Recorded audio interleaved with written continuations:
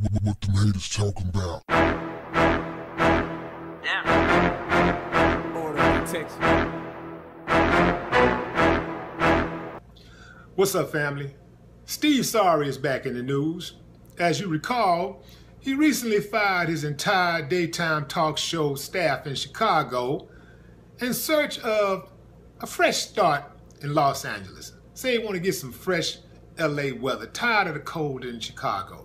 Now, as you can recall, he didn't really have the decency or the courtesy or respect to tell his staff that they were being fired. He allowed his underlings to do the dirty work for him. Now these are people that he come in contact with every day. He worked closely with every day. If you ever been on a set of a talk show, you know these you, you're working directly with people. You know, if you're the star of the show, these are people you're working directly with. But he didn't have the decency to at least pull people to the side and say, hey man, I gotta let you go. Nothing. Now, if that wasn't enough, this dirty riding scoundrel has followed up that disrespect with even more disrespect. He recently wrote a memo to the staff, and it went like this. Good morning, everyone. Welcome back. I'd like you all to review and adhere to the following notes and rules for season five of my talk show. There will be no meetings in my dressing room, no stopping by, popping in, no one, all caps. Do not come to my dressing room unless invited. Do not open my dressing room door. If you open my door, expect to be removed, all caps. My security team will stop everyone from standing at my door who have the intent to see or speak to me. I want all the ambushing to stop now. That includes TV staff. You must schedule an appointment. I have been taken advantage of by my lenient policy in the past. This ends now, no more. Do not approach me while I'm in the makeup chair unless I ask to speak with you directly. Either knock or use the doorbell. I am seeking more free time for me throughout the day. Do not wait in any hallway to speak to me. I hate being ambushed. Please make an appointment.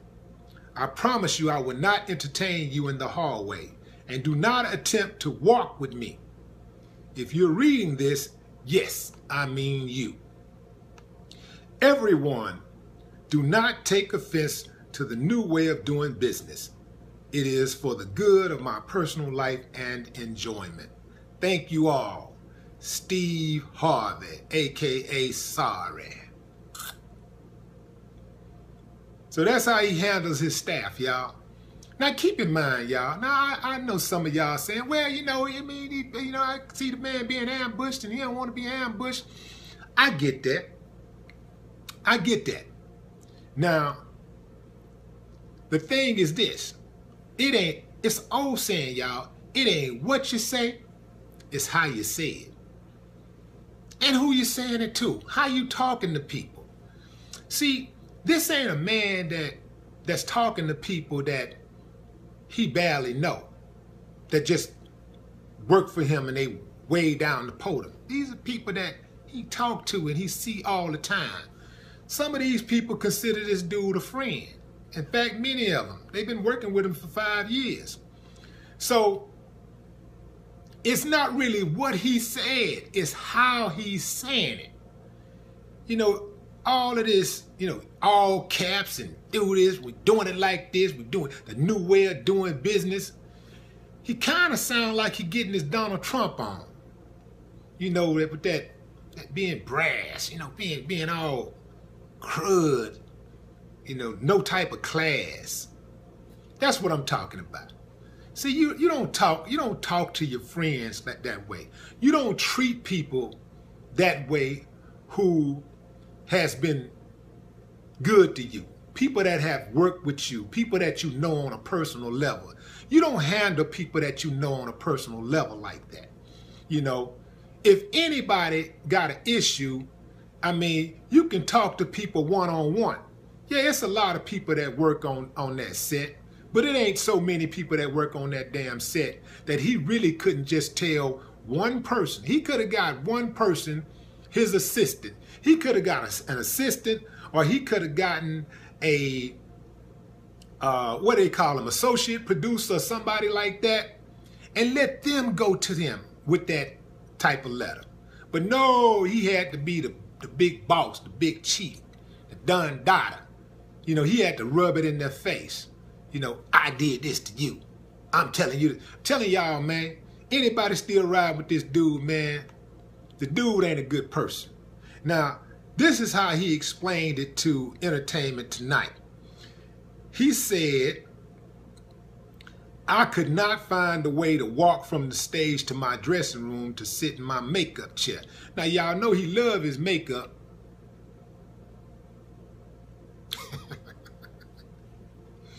anyway, he said, uh, let's see, he said, uh, I'm in the hallway. I'm getting ambushed by people with friends that come to the show and having me sign this and do this.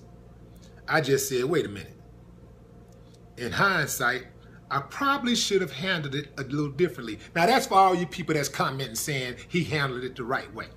See, he he he, he understood. He, said, I probably shouldn't have handled it that way. See, so he admitting he know, man, see, people know when they wrong. People know when they wrong, and sometimes it'll slip out and they'll admit it. But he also said that, well, you know, I don't regret saying it, but maybe I could have used a different tone. You damn right you could have used a different tone. He said, he went on to say, I just didn't see, I just didn't want to be in this prison anymore where I had to be in this little room, scared to go out and take a breath of fresh air without somebody approaching me. So I wrote the letter, he said. I don't apologize for it. Steve Harvey will end his run in season five. Now, so this dude, he's gonna end his talk show in season five, and he's heading to LA to do the new show he got called Steve. Now, I would like to say this. I ain't gonna lie, the dude got some talent. I ain't gonna front on him. He got some talent. But his talent is antiquated. His talent really is like for old folks. You know, 70 plus, you know, that he, he really more like on that level. People that still get excited when you can tell jokes about church. You know, some people, any kind of joke about church and eating cornbread and biscuits and hog miles, talking about, oh, you know, I'm trying to wrap it up because as soon as we leave church, we got to go eat some hog miles and chitlins and all that. See, that's good for that crowd. It's good for the chitlin circuit.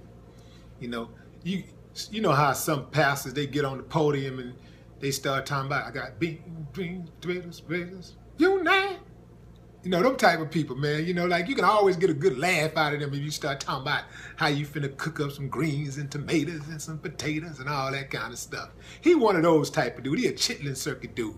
But if you really follow his career, if you really, really follow his career, every major thing that he's ever done, everything he's ever done, he's done it off of somebody else's name. Even when even when he had the Steve Harvey show that sitcom. Cedric the Entertainer actually carried the show because Steve Harvey was not funny at all. Cedric Kyles, that's who carried that show. That's who carried that show. Kings of Comedy, all other comics, they carried the show. He was the MC. All his, all his big come-ups really was, was somebody else even when he got the Family Feud, you know, that was already established. That was an already established show. It was a spinoff. You know, he ain't really got nothing on his own merit. What he's been able to do is, you know, work his hustle. I give him that. You know, he been been able to work his hustle and make himself available. But he a low down, dirty, riding scoundrel. as a person, the dude lack integrity, big time. Don't have any kind of sense of loyalty whatsoever. Uh, the memo was totally unprofessional. Again, y'all, I'm not talking about the wording itself. I'm not talking, but I'm not talking about, uh, you know, why he wrote it. I'm not talking about the reason why he wrote it and the, the things that he said that the the, uh, the, things that he said that he needed. Uh, I'm not talking about none of that. I'm talking about the tone of it. That I was uh, that part is unprofessional. That's not professional at all, and that's not how you do people. That's not how you treat people. Y'all keep in mind, man. This dude, he didn't always come off like this. He, he wasn't always, he didn't always come, and he still don't come off like this. See, when he talk to y'all, the next time he go public and he say something in public, he gonna, he gonna humble himself. Every time he get on that show, he humbles himself. He, he, you know, he know how to bring it back down to get y'all to fall for that shit. Then he start crying, all that old crying and shit. Then he throw a little guard in there or something. Then he say somebody's grandmama something like that. He all them low key words to get y'all to break down and, and start be thinking, oh, he's a good person. He's humble and all that. His ass is not humble. He's faking. If you think I'm lying, just ask the people that work for him. The dude ain't what he appear to be. He never have been. He's a sucker. He's a sellout. And he's definitely a buck dancing coon. No more talk. What the haters talking about? Yeah. Order protection.